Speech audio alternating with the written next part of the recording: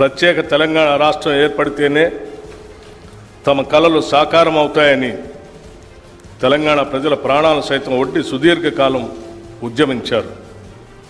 ఆ ఉద్యమాల తీవ్రత వెనుకనున్న తెలంగాణ ప్రజల ఆవేదనను గుర్తించి కాంగ్రెస్ నేతృత్వంలోని యూపీఏ ప్రభుత్వం తెలంగాణ ప్రజలకు ఒక ప్రత్యేక రాష్ట్రాన్ని ఏర్పాటు చేయాలని నిర్ణయించి దానికి సంబంధించిన అన్ని లాంఛనాలను పూర్తి చేసి స్వరాష్ట్రాన్ని సాకారం చేసింది.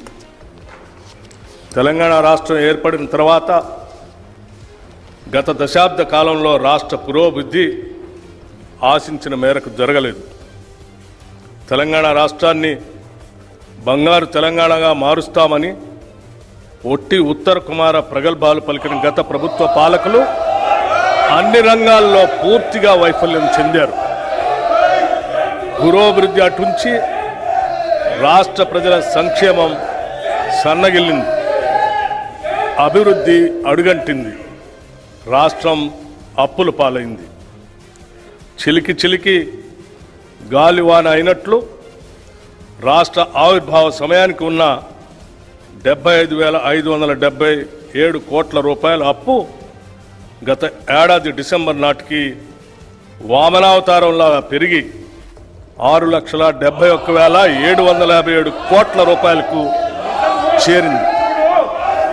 అంటే గత పది సంవత్సరాల్లో తెలంగాణ రాష్ట్ర ప్రభుత్వ అప్పు దాదాపు పది రెట్లు పెరిగింది.